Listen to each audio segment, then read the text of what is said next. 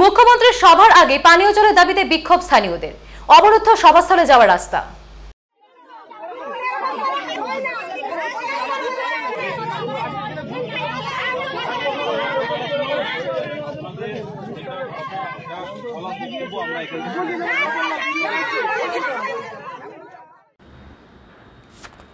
মুখ্যমন্ত্রী জেলা সফরের আগে পশ্চিম মেদিনীপুরের চন্দ্রকোনায় গ্রামবাসীদের বিক্ষোভ।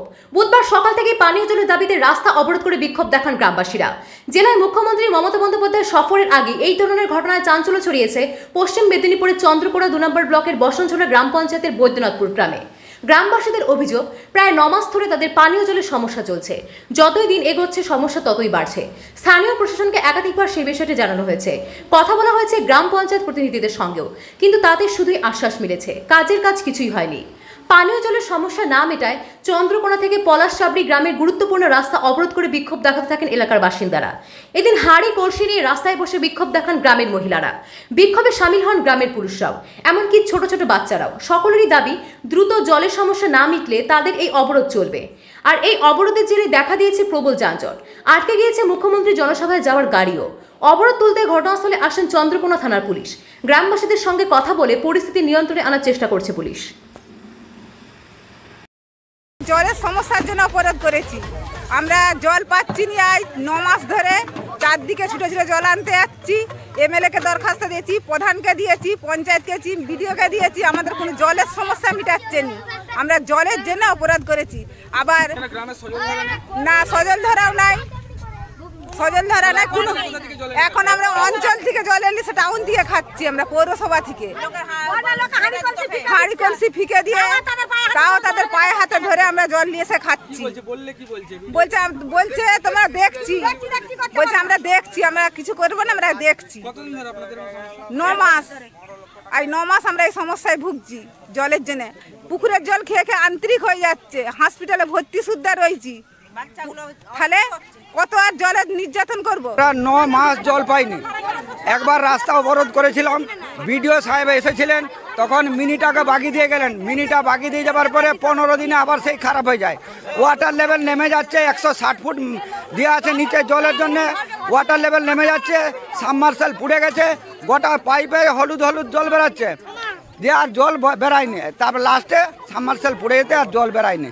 আট মাস আমরা বিডিও সাহেবের কাছে আবেদন করে আমাদের এখানে একশো ঘর আছে। বিডিও সাহেবকে আমরা দরখাস্ত করেছিলাম। বিডিও সাহেব বলছে হ্যাঁ এ মিনি এলে প্রথম কোটায় আপনাদের রইল আমরা দেবো। সেখানে গেলাম প্রধান সাহেবের কাছকে গেলাম প্রধান সাহেব সেরকম দরখাস্ত দিলাম সে বলছে প্রথম মিনি এলে আপনাদেরকে দেওয়া হবে। কোথাও কেউ কথা রাখেনি তারপরে আবার-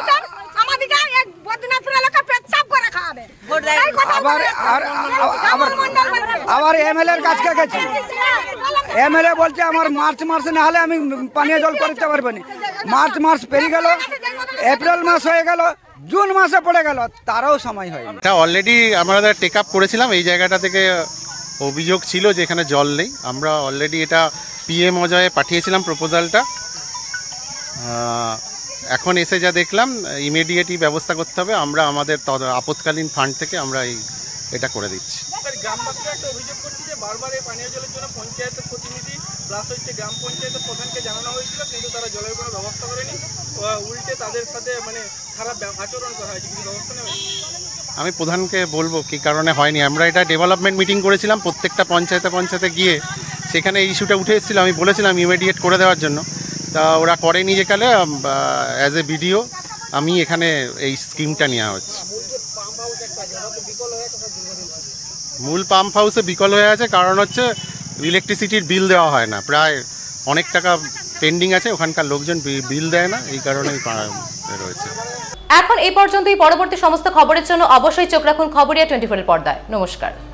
Dolphin school of hotel management সাধ্যের মধ্যে কোর্স করে নিজস্ব ম্যান পাওয়ার সাপ্লাই লাইসেন্স দ্বারা স্টুডেন্টদের বিদেশে চাকরি দেওয়ার সেরা ঠিকানা Dolphin school of hotel management Haringhata Nadia. Seat booking করতে আজই কল করুন এই নম্বরে seven seven nine seven one eight eight one eight eight